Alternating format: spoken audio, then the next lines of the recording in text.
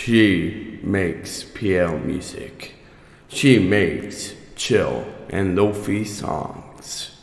She is known as Lin Lin 07 Collection 1 April 30th, 2023.